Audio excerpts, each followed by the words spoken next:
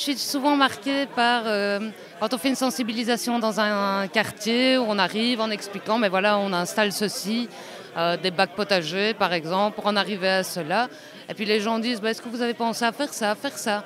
Et puis on leur dit, mais, vous savez, vous pouvez le faire, vous faites la démarche, on vous donne les contacts, etc. Et puis les gens qui se disent, ah bah tiens, je ne m'étais pas vue dans cette place-là. J'ai eu des discussions comme ça avec tout à coup des personnes qui se disent Ah bah tiens, oui, c'est vrai qu'en fait, je peux le faire moi-même. C'est à côté de chez moi. Euh, c'est utile, etc. De se mettre en perspective. Et euh, voilà, ça, c'est les petits moments sympas de ce genre de projet.